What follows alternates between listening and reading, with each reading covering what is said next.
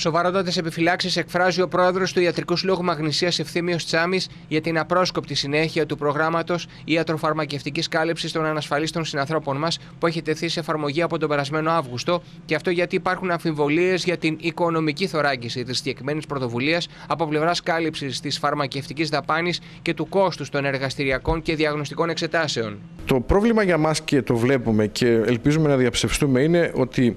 μπορεί αυτό το μέτρο να μην έχει υποστηριχθεί τόσο διοικητικά όσο και οικονομικά. Διοικητικά εννοώ ότι αυτοί οι άνθρωποι μπορούν να πηγαίνουν ε, στο, στις δημόσιες δομές, δηλαδή το νοσοκομείο, τα κέντρα υγείας ή το παιδί. Ε, δυστυχώς όμως ξέρουμε ότι ε, οι γιατροί που υπηρετούν εκεί για να εξυπηρετήσουν αυτόν τον κόσμο και τους άλλους βέβαια που υπηρετούν είναι πολύ, πολύ λίγοι, άρα μπορεί να υπάρξει πρόβλημα όσον αφορά την, στην ε, ε, δυνατότητα των γιατρών να εξυπηρετούν αυτούς τους ανθρώπους. Ελπίζουμε να μην γίνει. Το δεύτερο είναι ότι ότι ε, δεν ξέρουμε κατά πόσον ε, οικονομικά θα έχει υποστηριχθεί αυτό το εγχείρημα, αυτός ο νόμος, γιατί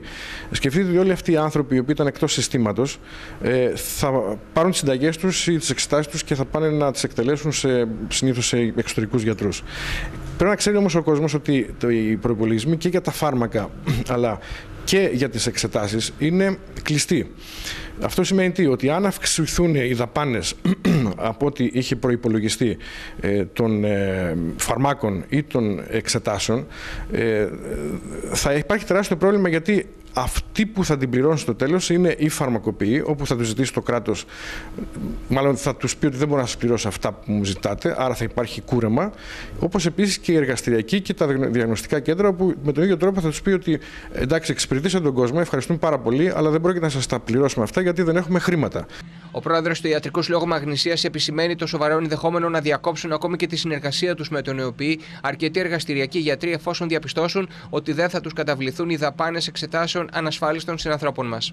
Αισθανόμαστε ότι ναι, μεν οι αποφάσεις αυτές είναι καλές και οι νόμοι είναι καλοί, αλλά έχουμε την εντύπωση ότι πηγαίνουν να, να, να, ε, να κάνουν μνημόσυνο με ξανακόλληβα. Ε, το οποίο σημαίνει ότι ε, αν δεν υποστηρίξουν και οικονομικά αυτές τις αποφάσεις τους θα υπάρξει τεράστιο πρόβλημα και επίκειται πιθανόν στο μέλλον να δούμε διαγνωστικά κέντρα και εργαστηριακούς χάρη να αποχωρούν από τον ΕΟΠΗ γιατί πια πλέον δεν αντέχουν, ήδη έχουν φάει ε, ε, κοψίματα και κουρέματα όλα αυτά τα χρόνια. Υποστηρίξανε, και αυτό ίσως δεν είναι γνωστό στον κόσμο, με τον καλύτερο τρόπο τον οποίο, ο οποίος δεν του συμπεριφέρθηκε και με τον καλύτερο τρόπο, γιατί με, με ευνηδιασμούς και αυταρχικές αποφάσεις χωρίς συνένεση και χωρίς συζήτηση, ε, έπαιρνε αποφάσεις με αποτέλεσμα να κόβει